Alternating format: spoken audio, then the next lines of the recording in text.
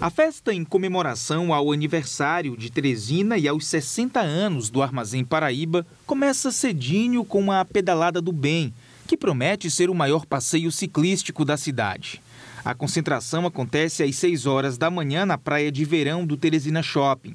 A pedalada vai ser transmitida ao vivo pela TV Cidade Verde a partir das 7h30 da manhã. A largada será às 8 horas.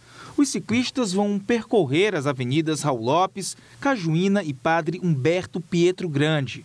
O percurso é de aproximadamente 14 quilômetros e encerra no Teresina Shopping. Logo em seguida, acontecem sorteios de bicicletas para quem fez a inscrição da pedalada. O trânsito na região vai receber uma atenção redobrada da S-Trans.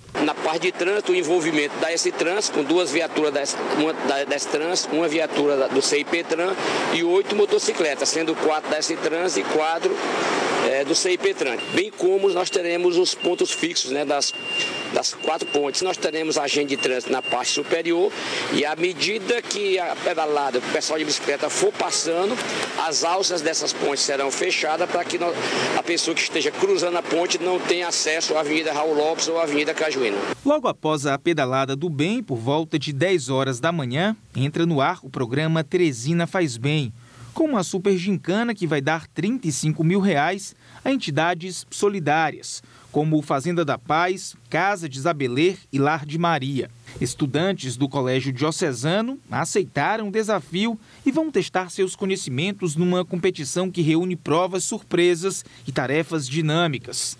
E é grande a expectativa entre os representantes das entidades. Todo mundo já preparado para o dia de amanhã, com o horário de chegada, o que, que vão fazer, o café da manhã que nós vamos dar para aqueles que estão nos ajudando na questão de uma ação que é de bicicleta e, e várias coisas. Então está todo mundo envolvido nisso. Estamos nos articulando todos os dias, nos organizando para amanhã fazer essa grande festa. É uma festa do bem, é uma corrente do bem e o mais bonito de tudo, acho que é o engajamento social. Esse tipo de projeto, esse tipo de gincana faz com que os jovens eles se engajem e conheçam o que é o voluntariado, visitando as instituições, verificando como é, como é bom que todos eles estejam lá e participando da vida dessas pessoas.